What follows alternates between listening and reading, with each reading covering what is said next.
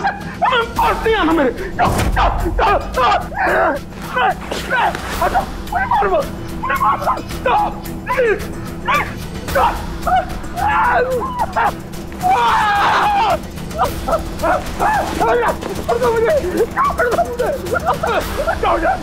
मार पास मत से मुझे मत मारो छोड़ दो प्लीज़ मुझे मत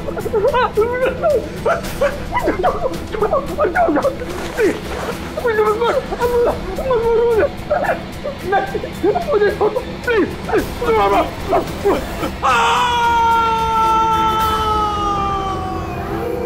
छोड़ दो मुझे। मारो मत मुझे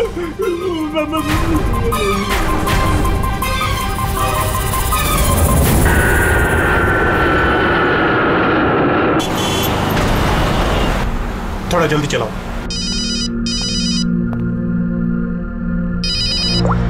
हेलो इसवी प्रद्युमन ये सर एक खून हुआ है। खून हुआ? कौन बोल रहा है?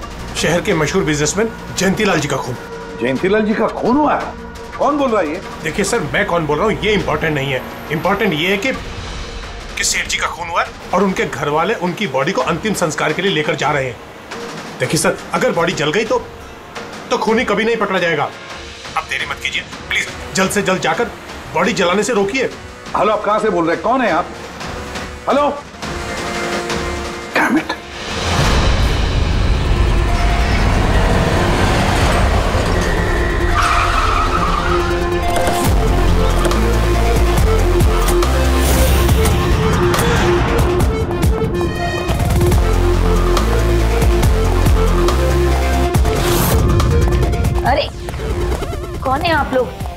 कैसे घर में अंदर आ रहे हैं। हम लोग सीआईडी से हैं। घर के सारे लोग कहाँ हैं? सर वो लोग तो साहब की बॉडी लेकर शमशान घाट गए हैं। शमशान घाट गए?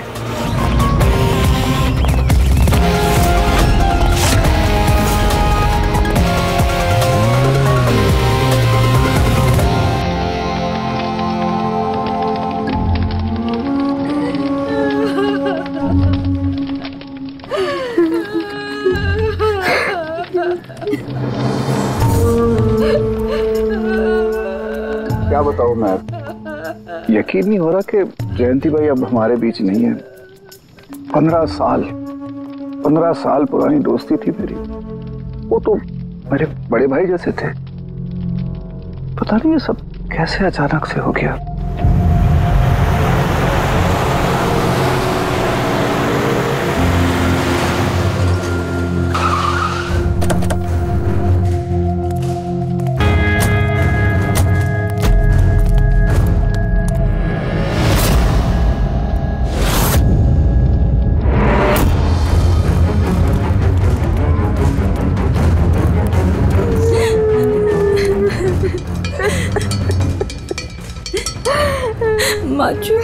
एक्सक्यूज मी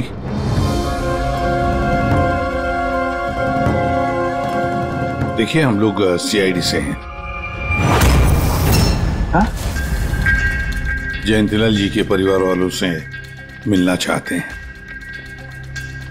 मैं जयंतीलाल जी की पत्नी दीपा।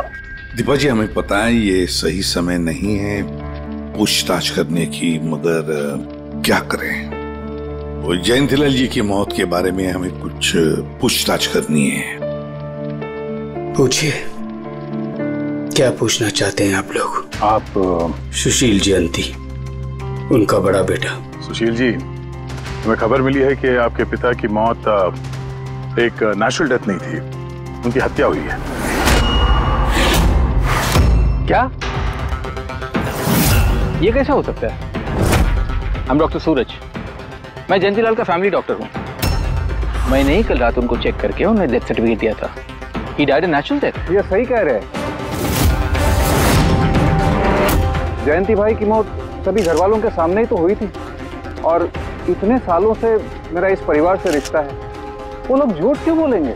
तो आप लोगों ने इतनी जल्दी में बॉडी क्यों जला दी? तो क्या ये भी गुनाह है? इतने महीनों से पिताजी बीमार थे। कितने इलाज किए कितनी कोशिशें की नहीं बचे वो। देखिए हमें इंफॉर्मेशन मिली है कि जयंतीलाल जी की हत्या हुई है। क्या? हमने आपके पड़ोसी से भी पूछा। आ, उन लोगों ने भी कल रात जयंतीलाल जी के चिल्लाने की आवाज़ सुनी थी। देखिए पड़ोसियों ने जो कहा वो सही है। लेकिन उनको या आप लोगों को सही बात नहीं पता है। और वो सही बात क्या है? पिछले तीन महीने से डैडी की दिमागी हालत भी ठीक नहीं थी। वो ना सिर्फ़ लोगों को और बातों को भूलने लगे थे, बल्कि उनको हेल्यूसिनेशन यानी भ्रम हो गया था। गलत सही, सच झूठ का फ़र्क उनको समझ में नहीं आ रहा था। दौरे पड़ने लगे थे उनको। उनको लगने लगा था जैसे जैसे उनको कोई कोई मारने वाला है। कल रात भी उनको ऐसा ही दौरा पड़ा था।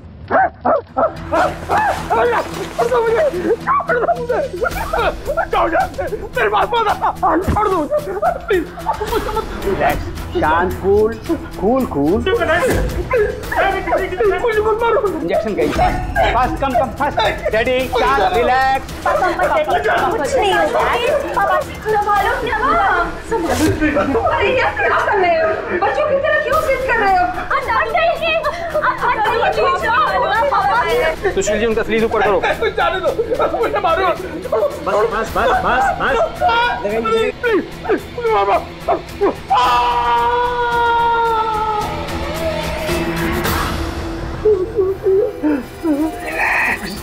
और इस बार अटैक इतना बड़ा था कि मुझे उन्हें बेहोशी का इंजेक्शन देना पड़ा। और दो घंटे बाद उनकी मौत हो गई। मैं आपको सारी डिटेल्स दे सकता हूँ।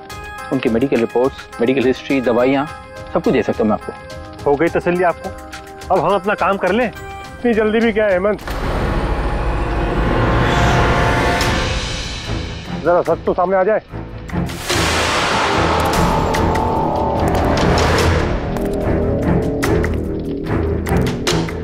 आप सर मेरा नाम मोहन मैं जयंतीलाल जी का वकील हूँ। मैंने आपको फ़ोन किया था सर। मोहन जी आपको ऐसा क्यों लगता है कि जयंतीलाल जी की हत्या हुई है? मेरे शक की वजह है उनकी वसीयत। लेकिन ऐसा क्या है इस वसीयत में? सब कुछ। कि उनकी जायदाद में से किसको कितना हिस्सा मिलेगा उससे क्या फ़र्क पड़ता है? हम सब एक फैमिली हैं। किसी को छोटा किसी को बड़ा शेयर मिलेगा यही ना? ऐसे ओके कोई फ़र्क नहीं पड़ता है। अगर जयंती लाल जी की मौत नेचुरल ना होकर मर्डर साबित हुई तो आप में से किसी को भी उनकी जायदाद का कोई हिस्सा नहीं मिलेगा। नथिंग एट ऑल ऐसे कैसे हो सकता है? मुझे बराबर याद है कि एक साल पहले उन्होंने मेरी सलाह लेकर ही ये वसीयत बनाई थी। और उसमें तो ऐसा कुछ भी नहीं लिखा था। दीपा जी तीन महीना पहले उन्होंने नई वसीयत बनवाई थी। ये क्या बोल रहे हैं आप? ये कैसे हो सकता है? ये सब कुछ बकवास है। अरे पिताजी आपको कब मिले? आप तो तीन महीने से हमारे घर पे आए नहीं और पिताजी भी तीन महीने से घर के बाहर निकले ही नहीं। तो फिर? हेमंत वो खुद मेरे ऑफ़िस में आए थे तीन महीना पहले। मैं अब ज़िंदा नहीं रहूँगा। आप क्या कह रहे हैं सर? कोई मेरी जान लेना चाहता है मुझे मार डालेगा। सर कैसी बात कर रहे हैं आप? कौन है जो आपको मारना चाहता है? कोई अपना। मेरे परिवार के सदस्यों में कोई है। मुझे पूरा यकीन है कि मैं अब चंद दिनों का मेहमान हूँ। सर कौन है वो? कहा? ना कोई अपना। क्या सोच रहे हो? पुलिस के पास जाऊँ? यही कहना चाहते हो? सर मैं मैं पुलिस को खबर करूँ? नहीं। पुलिस वाले भी अब मुझे पागल समझेंगे। तुम मेरा एक काम करो मोहन। मेरा वसीयतनामा बदल डालो। अगर मेरी मौत हो जाती है और मौत के बाद ये साबित होता है कि उसका कारण मेरा परिवार है तो मेरा बिज़नेस मेरा पैसा, मेरा कुछ भी परिवार के किसी भी सदस्य के नाम नहीं होगा। सर, अगर परिवार के सदस्य को नहीं मिलेगा तो किसको मिलेगा?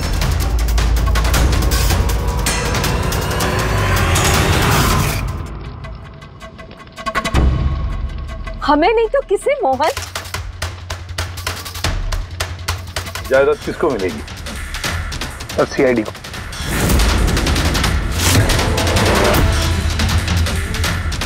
क्या बकवास कर रहे हैं आप? जी सर। अगर जयंतीलाल जी की मौत हत्या साबित होती है तो उनकी सारी जायदाद जो कि लगभग पाँच हज़ार करोड़ है वो सीआईडी को और पुलिस वेलफेयर डिपार्टमेंट को मिलेगी। ये क्या मज़ाक कर रहे हैं आप? ऐसा कैसे हो सकता है? हो सकता है। अगर उनकी मौत हत्या साबित हुई तो। लेकिन उनकी तो हत्या हुई नहीं। हम वहीं तो थे। जो कुछ भी हुआ हमारे सामने हुआ है। उनकी हत्या हुई है या नहीं वो हम पता लगा लेंगे। अरे आप कैसे पता लाएँगे बॉडी तो है नहीं। बॉडी जल चुकी तो क्या हुआ? राख तो है। जब तक ये केस सुलझती नहीं तब तक जयंतीलाल जी की राख हमारी कस्टडी में रहेगी। अरे लेकिन sorry ma'am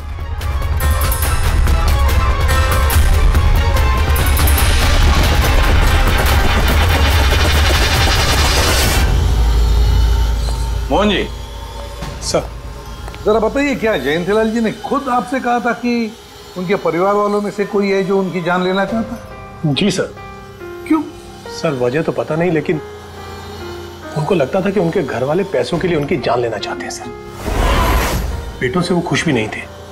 वो चाहते थे कि हेमंत और सुशील उनके साथ बिज़नेस में हाथ बटाएँ उनके साथ बिज़नेस करें। लेकिन ऐसा हुआ नहीं सर। ऐसा क्या हुआ? सर दोनों ने अपना अलग अलग बिज़नेस शुरू किया लेकिन उसे भी चला नहीं पाए। और हेमंत सर वो तो एक नंबर का अयाश निकला। उसने सेठ जी के सारे पैसे उड़ा दिए। सर बाप बेटे में हमेशा खटर पटर चलती रहती थी। कभी बनी नहीं बाप बेटे में। बनती नहीं थी मगर हम बाप बेटे तो थे। मुझे पैसों की बहुत ज़रूरत थी लेकिन इसका ये मतलब थोड़ी है कि मैं अपने पिता को ही मार दूँगा। मार भी सकते हो। आखिरकार दुनिया में आधी से ज़्यादा गुना तो पैसों के लिए ही होते हैं। फिर तो सुशील भैया की वजह मुझसे बड़ी थी। उनका पिछला बिज़नेस उन्होंने घाटे में बंद किया और अभी जो है वो नुकसान में चल रहा है। सर मार्केट का बहुत पैसा है उनके ऊपर। और डैडी भी इस बार सुशील भैया की मदद करने के लिए रेडी नहीं थे। सर मैं मानता हूँ कि डैडी नाराज़ थे। नहीं दे रहे थे मुझे पैसे। पर मुझे यह भी पता है कि वो मुझे और मेरे परिवार को मरने के लिए नहीं छोड़ सकते थे। खून में उनका। खून तो हो। इसीलिए पैसों के लिए अपनों का ही खून बहा दिया। हुँ? आ, सर सर एक आइडिया है। क्या है कि अब जो हुआ सो हुआ उसको बदला तो नहीं जा सकता? ना लेकिन इस सिचुएशन से अपना फ़ायदा ज़रूर निकाल सकते हैं क्या मतलब? वो सर सर। हम्म, आप ये मामला सुलझा दीजिए। मान लीजिए कि नेचुरल डेथ थी। अब वसीयत के हिसाब से पैसे सीआईडी और मुंबई पुलिस की जगह हमें मिलेंगे, जो उसके असली हकदार हैं। नहीं, आप लोगों का जो नुकसान हुआ होगा, वो हम आपस में समझ लेंगे ना। सुशील जी, हर आदमी एक जैसा नहीं होता। और दोबारा ऐसे बात करने की गलती नहीं करना। समझे? तुम अपनी दादाजी से बहुत करीब थी ना? दादाजी मुझे बहुत प्यार करते थे। हम दोनों बेस्ट फ्रेंड्स के जैसे थे। एक दूसरे से सारी बातें शेयर करते थे। कभी दादाजी ने तुमसे ये कहा था कि यू कि उनकी जान को खतरा है कोई उन्हें मारना चाहता है? ऐसे कभी कुछ कहा था उन्होंने? उन्हें हर किसी से डर लगता था। दादाजी सिर्फ़ मेरे पे विश्वास करते थे। बाकी उन्हें सबसे डर लगता था। तो उन्हें लगता था कि कोई उन्हें मार देगा। चलो दादू अब हम खाना खाएँगे। क्या ये? चलो चलो चलो चलो दादू। मुझे। आ, वो, वो, वो, वो, वो, वो सब लोग इसमें जहर मिला के मुझे मारना चाहते हैं। कौन मारना चाहता है दादू आपको? वो सब लोग मिले हुए हैं सब मेरे खिलाफ साजिश कर रहे हैं। ए, तू भी मत खा। अरे फेंक दे वरना तू भी मर जाएगी। दादू आप मेरा विश्वास करो। ये खाना मैंने अपने हाथों से बनाया इसमें कुछ नहीं है। इसमें जहर भी नहीं कुछ नहीं है दादू। आप आप मेरा विश्वास करो। देखो देखो देखो। मेरे हाथों में खा रही हूँ ना? देखो देखो। मुझे कुछ हुआ? मैंने अपने हाथों से बनाया। चलो दादू चलो चलो चलो खा खा खा खा गुड दादू गुड दादू चलो एक और बाइट जल्दी से जल्दी से जल्दी से जल्दी से एक और बाइट खाएँगे। अच्छा है ना दादू? गुड गुड चलो मुझे चलो कितना प्यार करती है।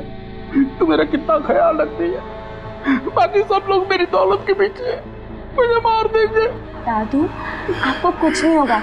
आपका बहादुर बच्चा है ना इधर? मैं आपको कुछ नहीं होने दूँगी। देखो। अब तुम घर जाओ। हम्म? जाओ। और देखो किसी भी चीज़ की ज़रूरत पड़े तो मुझे फ़ोन करना ठीक है? जाओ।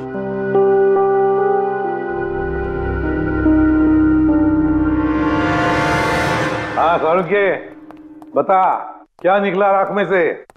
बॉस राख में से बड़ी ज़बरदस्त बात निकली है। हालाँकि इस राख ने मुझे कम परेशान नहीं किया लेकिन मैंने भी इसका मुँह खुलवाई लिया। है ना? तो फिर बता दे यार। बता था तारिका। हाँ। सर हमने इस राख का स्पेक्ट्रोस्कोपी टेस्ट किया। फिर? रिपोर्ट से बात साबित हो गई है बॉस कि जयंतीलाल की मौत नेचुरल नहीं है। जयंतीलाल को मारा ही गया। क्या कहा तुमने? जयंतीलाल की मौत नेचुरल डेथ नहीं थी? नहीं। कैसे सामझे कैसे मारा? लार्सनिक से। लार्सनिक? जयंतीलाल की राख में हमें लार्सनिक मिला है बॉस। राख में से लार्सनिक? सर कुछ केमिकल्स और हैवी मेटल्स धातु ऐसे होते हैं जो जलने पर भी नहीं खत्म होते। लार्सनिक उनमें से एक है। इसलिए लाश के पूरी तरह जल जाने के बावजूद उसमें मौजूद लार्सनिक? जलाने और राख में ऐसे ही रहा। लेकिन एक बात समझ में नहीं आ रही है के अगर जयंतीलाल की मौत लार्सनिक की वजह से हुई है तो फिर उसके फैमिली डॉक्टर सूरज को ये पता कैसे नहीं चला? पता कैसे नहीं चला? उसने नेचुरल डेथ का सर्टिफिकेट इश्यू किया ही कैसे? और क्यों? बॉस, अगर लार्सनिक जैसा जहरीला केमिकल इंसान के शरीर में एक साथ बहुत ज़्यादा मात्रा में पहुँचा दिया जाए तो इंसान की तुरंत मौत हो जाती है। लेकिन अगर यही जहर धीरे धीरे थोड़ी थोड़ी मात्रा में उसके शरीर में पहुँचाया जाए तो उसकी मौत एक साथ एकदम नहीं होती है। पहले उसकी याददाश्त जाती है।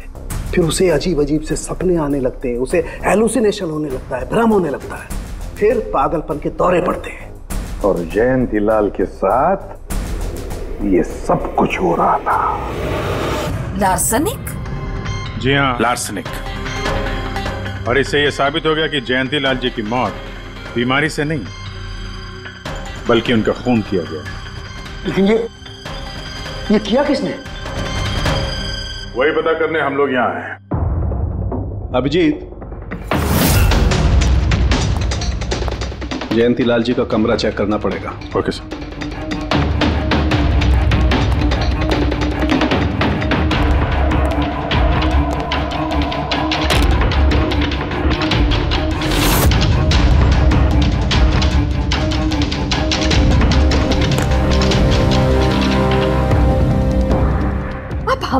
कर रहे हैं?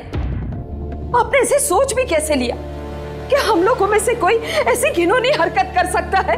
ऐसा कुछ नहीं है माँ। ये सब इनकी चाल है। डैडी की प्रॉपर्टी इन्हें मिल जाए, इसके लिए मनगढ़ंत कहानी बना रही है लोग। बकवास मत करिए सुशील जी। दोबारा ऐसा बोला ना, अंदर डाल दूँगा।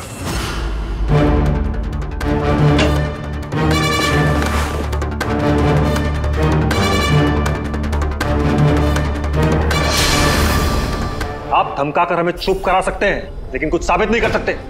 Exactly exactly. आप लोग ये सब कुछ इन पाँच हज़ार करोड़ के लालच में कर रहे हैं ना? बोल चुके हैं आप लोग? अब बस सीआईडी को अपना काम करने दीजिए। क्या मज़ाक नहीं चल रहा है। एक आदमी का खून हुआ है खून। तो आप सबकी भलाई इसी में है कि हमारे साथ कोऑपरेट करें। अच्छा अब सीआईडी धमकाने भी लगी है। हम्म। ये धमकी नहीं है। ये आशी आशीष आशी बेटा। आशी क्या हो गया? आशी बेटा। आशी बेटा उठो। आशी आँखें खोलो क्या हो गया तुम्हें? आशी। आशी बेटा क्या हो गया? अरे जरा देखो इसे भी चेक क्या हो गया मेरी बच्ची को? आशी। क्या हुआ? आँखें खोलो आँखें खोलो हो गया। आशी बेटा।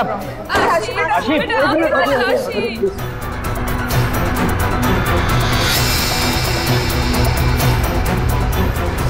क्या हो गया इसे? आशी? इसे हॉस्पिटल ले जाना पड़ेगा फ़ौरन। हाँ पंकज। क्या? माय गॉड ये अच्छा ठीक है। क्या हुआ? ये डॉक्टर सूरज ने आशी के कुछ टेस्ट किए थे।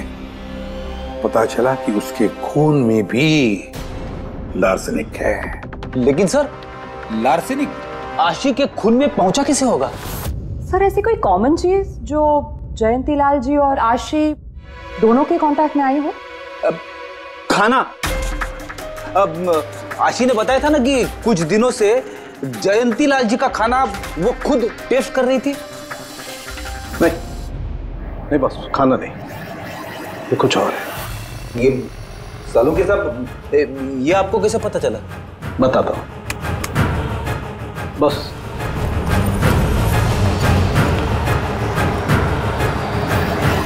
ये है वो बाल जो हमें जयंतीलाल के हेयर ब्रश में से मिला है। अब लार्सनिक तो अधिकतर नाखूनों में और बालों में ही जमा होता है। तो जब हमने इस बाल के छोटे छोटे टुकड़े करके एनालिसिस किया तो रिज़ल्ट आया ये। और सर हमने इन टुकड़ों का एटॉमिक अब्जॉर्प्शन टेस्ट किया। तो पता चला कि दूसरे केमिकल्स के साथ साथ इसमें लार्सेनिक भी है। अब क्योंकि बाल धीरे धीरे बढ़ते हैं इसलिए हमने इस रिज़ल्ट को कैलेंडर के साथ टैली किया। बॉस तब हमें पता चला कि जयंती लाल को ये लार्सनिक आठ से दस दिन के गैप में दिया जा रहा और आठ दस दिन के गैप में? इसका मतलब जो भी है जयंतीलाल को हर आठ दस दिन के इंटरवल पर लार्सनिक दे रहा था। धीरे धीरे मार रहा था। और इसकी शुरुआत हुई बॉस तीन महीने पहले।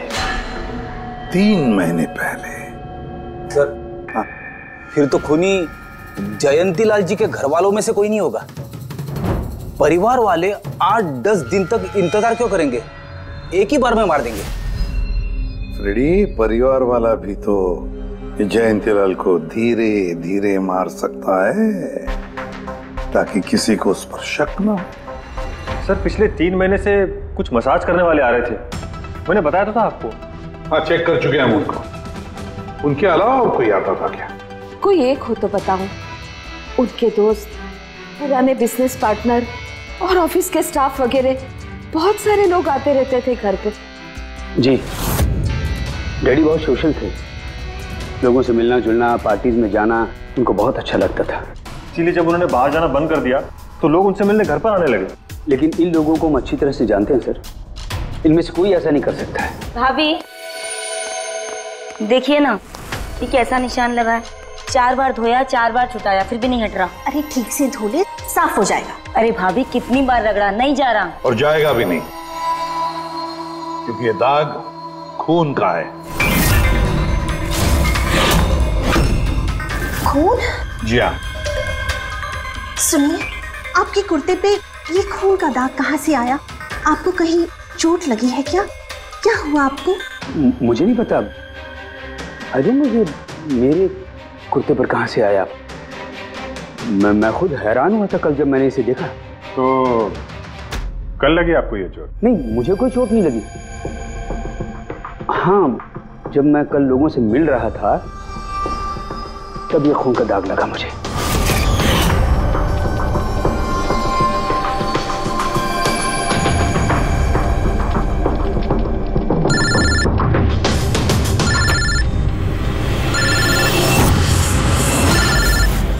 बिना चोट खून के धब्बे। अजीब बात है। वही तो। और कुछ हुआ था कल? कोई खास बात? नहीं सर। और कोई खास बात नहीं। साहब एक बात अजीब हुई थी। क्या? कल सुबह मुझे गार्डन में कांच के कुछ टूटे हुए टुकड़े मिले थे। कांच के टूटे हुए टुकड़े? तो फिर? साहब उन टुकड़ों में खून लगा हुआ था। क्या? कांच के टुकड़ों में खून लगा हुआ था? जी। कहाँ पर है वो? अब, अब वो तो मैंने कचरे के डिब्बे में डाल दी। इस कुर्ते पे खून कांच के टुकड़े पे खून। कहाँ देखे थे वो कांच के टुकड़े तुमने ये देखिए यहाँ पर मिले थे मुझे कांच के टुकड़े। यहाँ पर? जी।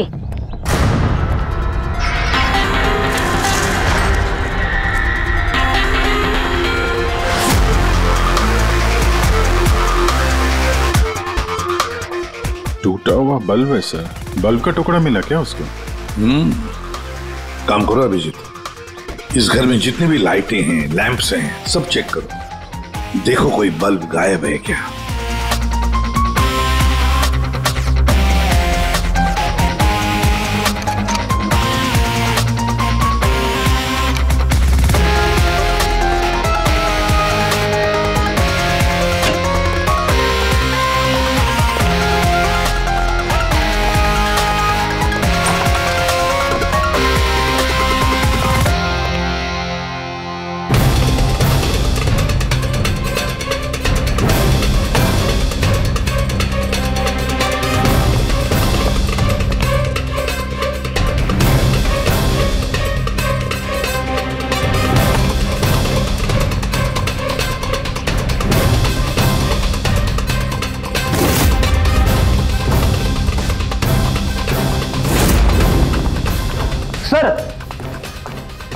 जगह देख लिया। कांच का टूटा हुआ सामान कहीं पे भी नहीं है। सर कुछ नहीं मिला।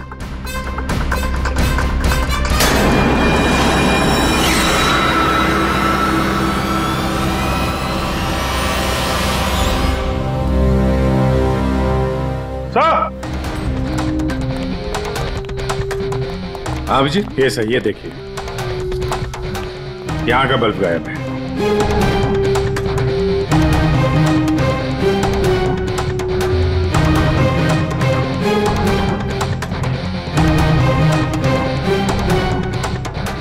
बड़ी अजीब बात है। ये लैम्प तो बिल्कुल ठीक था।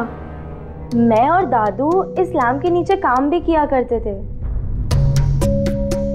और और जिस तरह दादू की मौत हुई, तब भी ये लैम्प ठीक था, इसमें बल्ब था, और ऑन था।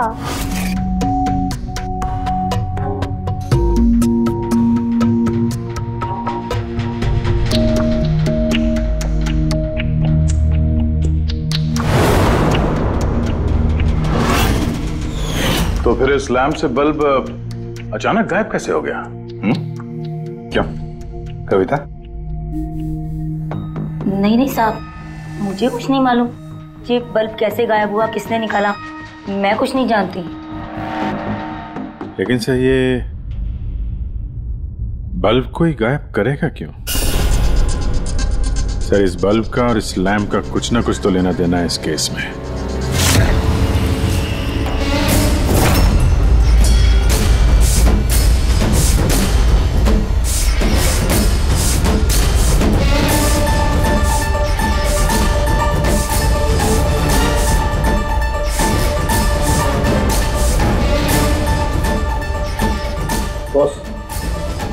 ये धब्बे देख रहे हो। ये धब्बे लार्सनिक के हैं। लेकिन ये लार्सनिक के धब्बे पूरे लैंप पर कैसे है? बॉस हुआ ये होगा खूनी जयंतीलाल जी के घर पे आता होगा हर आठ या दस दिन में। नमस्ते साहब। साहब ऊपर है अपने कमरे में।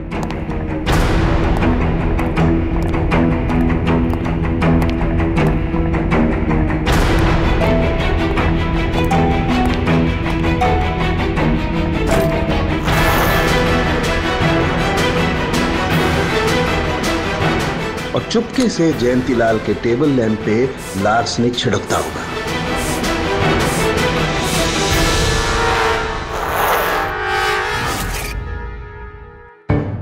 शायद जयंती लाल जी हमेशा इस टेबल पर बैठ करके काम किया करते थे।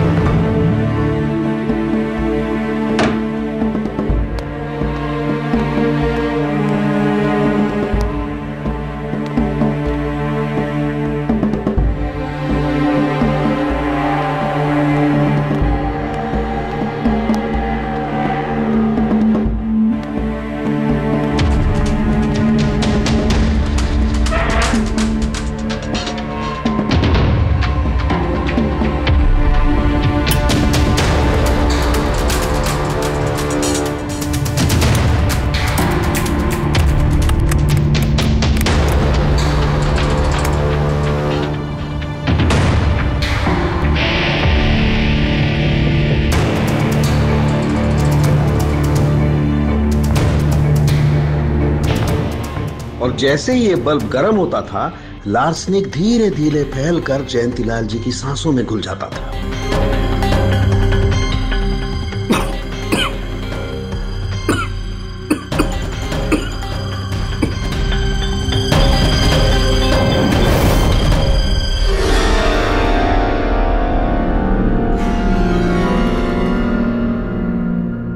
सालू के साथ आशी को लार्सेनिक का इतना असर क्यों नहीं हुआ? उसे लार्सनिक का इतना असर इसलिए नहीं हुआ फ्रेडी क्योंकि वो यहाँ हमेशा नहीं रहती थी। कभी कभी आती थी अपने दादाजी के पास। यार ये जो भी कोई है इस जयंतीलाल के और घर वालों के करीब का ही कोई है। इसलिए वो जयंतीलाल के मौत के वक्त यहाँ मौजूद था और मौत होने के बाद में सबूत मिटाने के लिए उसने उस लैंप में से वो बल्ब निकालकर अपने जेब में रख दिया होगा। और फिर सभी घर वालों से मिलते वक्त सुशील जी को भी अपने गले लगा लिया।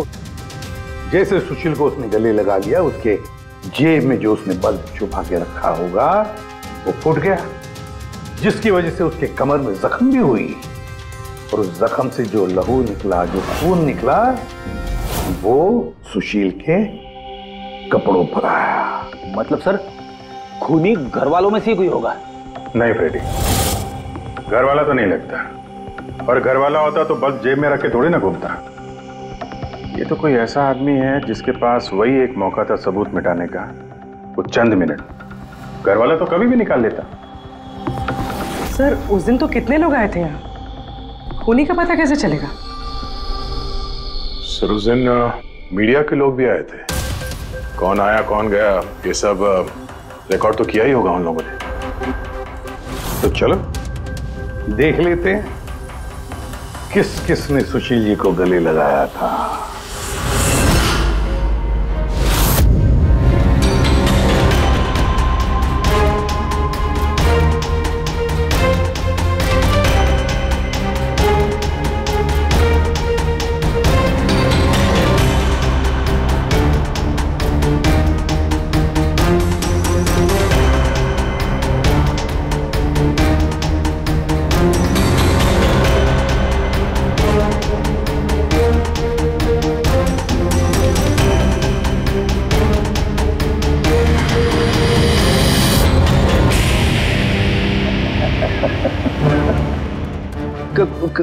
हुआ सर? खूनी का पता चल गया? हाँ फ्रेडी। खूनी मिल गया।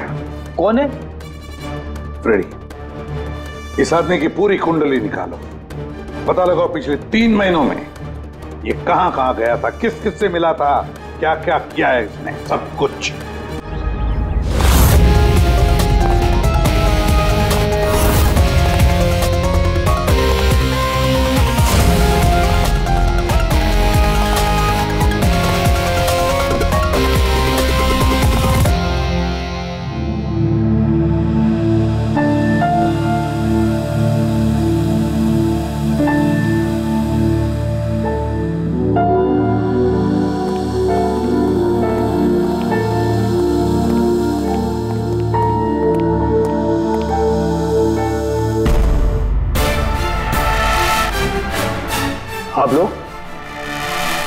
लोग फिर यहाँ? खूनी का तो पता चला नहीं होगा। कुछ छानबीन रह गई होगी, नहीं? नहीं सुशील जी कोई छानबीन नहीं बची है। खूनी का पता चल गया और खूनी अभी इसी वक्त यहाँ हम सब के बीच मौजूद है। क्या? कौन है वो?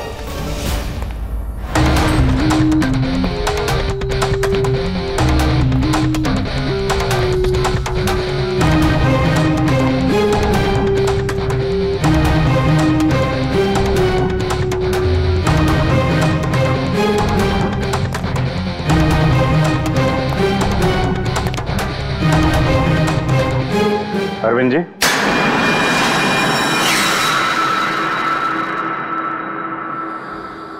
जरा उठेंगे आप? मैं? मैंने क्या किया? अरविंद जी आपने क्या किया? इसका तो पता हमने लगा ही दिया। बस अब आपके कारनामे हम आप ही के मुँह से सुनना चाहते हैं। क्या बकवास है ये? आप मुझ पर इल्ज़ाम लगा रहे हैं?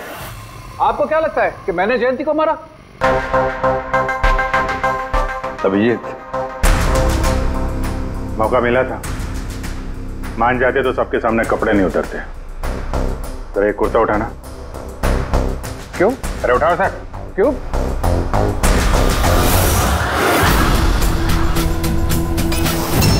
क्या है ये निशान कैसा है? वो वो वो हाँ? म- म- म- म- प- प- प- प- कौन सी भाषा बोल रहे हो हिंदी में बोलो, हिंदी में। मातृभाषा है हमारी। भूल गए क्या? याद दिलाओ हाँ? नहीं नहीं, सर।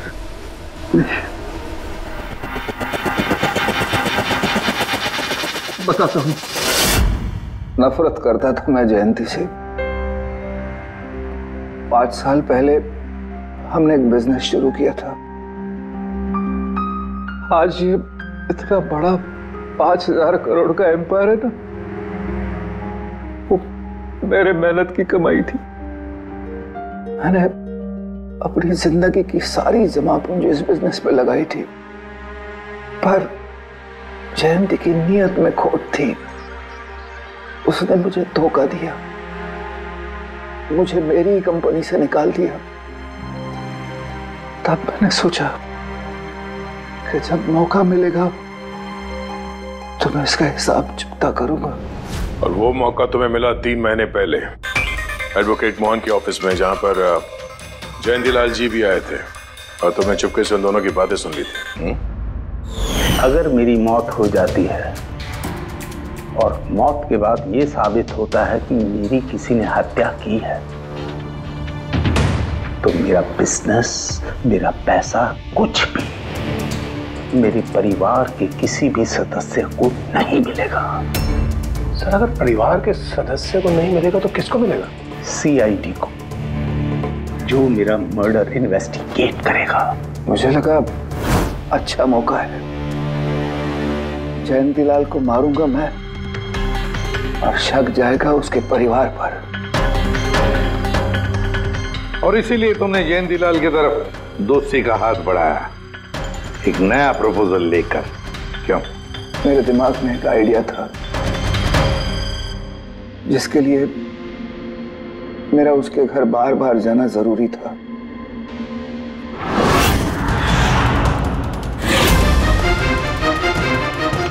साहब ऊपर है अपने कमरे में।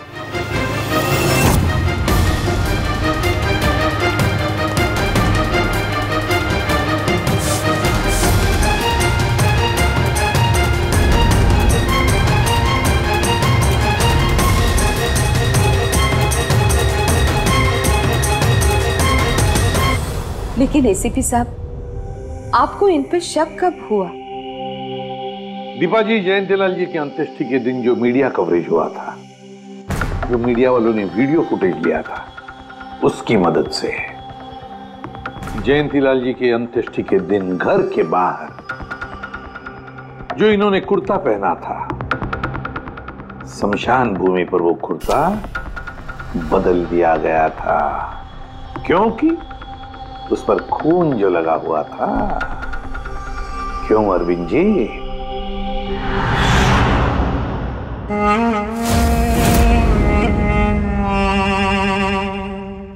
अरविंद जी, बदले की आग में तुमने जयंतीलाल का खून कर दिया। क्या मिला तुम्हें? कैसा सुख मिला? गलत किया तुमने। गलत किया। Freddie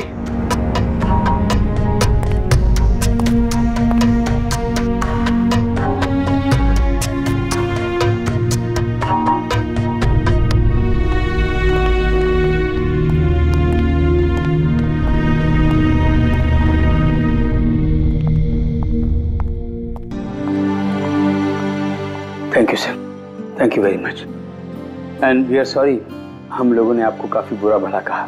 मैं दरअसल हमें लगा कि पैसों के चक्कर में आप हम परिवार वालों को इस केस में कल्पित बनाने की कोशिश कर रहे हैं।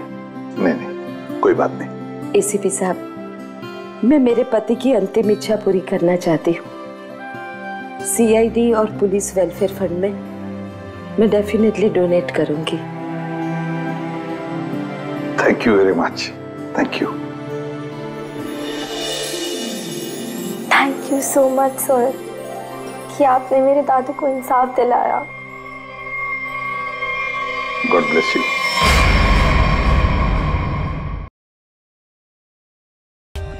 for more updates subscribe to our channel click the show links and enjoy watching the videos